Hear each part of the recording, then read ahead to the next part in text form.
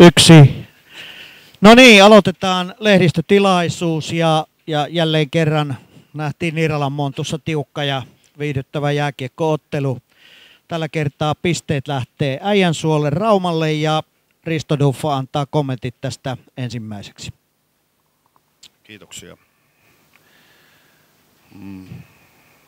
Oltiin tosi, tosi tuotani, hyvin valmistautuneita kyllä koko, koko, koko joukkue peliin. Ja ottelun ratkaisu meidän kannalta oli ensimmäinen erä.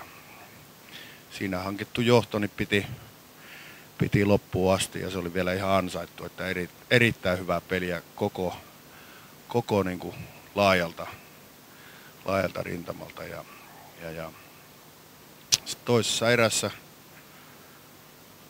pelattiinko me nyt 10 minuuttia alivoimaa vai viisi jäähyä, niin sen ties sitten, että siinä kun ei kaikki pelaa, niin sitten se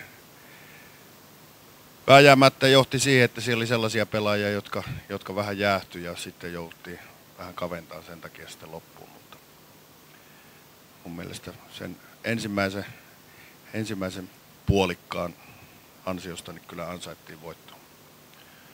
Kiitos. Ja sitten Jari Laukkanen, ole hyvä.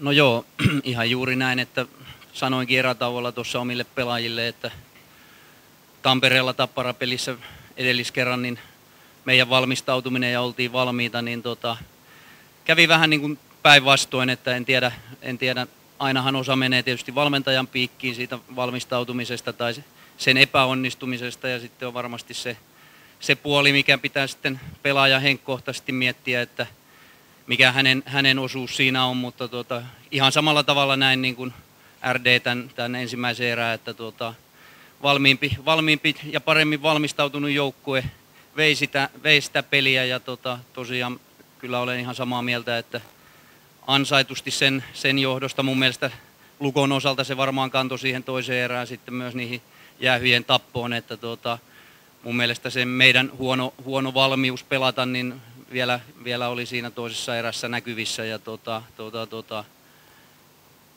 siinä on tunnetusti sitten aina haasteellista tehdä, että joskus, joskus voi heittää niitä limsakoreja tai potkia roskiksia tai tehdä mitä hyvänsä tuolla, mutta tota, kyllä, se, kyllä se monesti vaan on, että, että siinä niin sanotusti on vähän niin kuin vellit housussa siinä vaiheessa, jos ei olla valmiita kello 18.30 tässä tapauksessa pelaamaan. Että tota, viimeinen erä oli, oli meiltä hyvää, hyvää pelaamista ja tota, saatiin, saatiin ihan oman näköistä jääkiekkoa, että siitä on hyvä jatkaa tietysti kohti, kohti torstaita, mutta tota, onnittelut Lukolle ihan, ihan ansaitut kolme pistettä menee Raumalle.